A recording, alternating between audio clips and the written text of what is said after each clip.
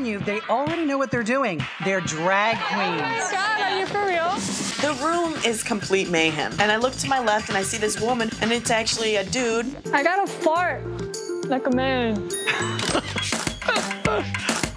Work it. There you go. Jaslene commanded that set. But you want to put your. She was directing. Love the energy, love the attitude. Oh, I like that, Renee. I love the variety. There you go. I got positive feedback from Jay. Hopefully, I'll get called first again. That's the shot. Is that my wife? We're not married. Yeah, we're too busy to be married. Yeah, exactly. So you guys are the power couple, right? Nice, good.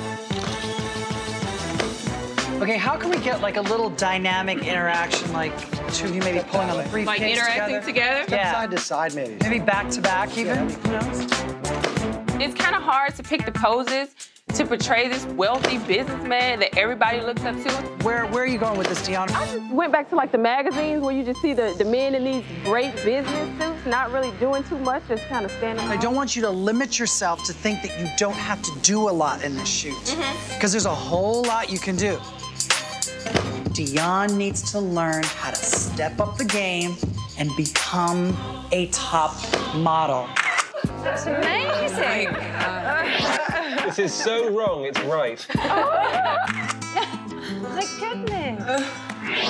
It's like it's a man walking down the street with his woman, like, come on, baby. Okay, glam rock. So glam rock is a bit soft, a bit feminine, a bit androgynous. Yeah, you know what? I'm sorry. I like this kind of look. This is an amazing story. I quit my job.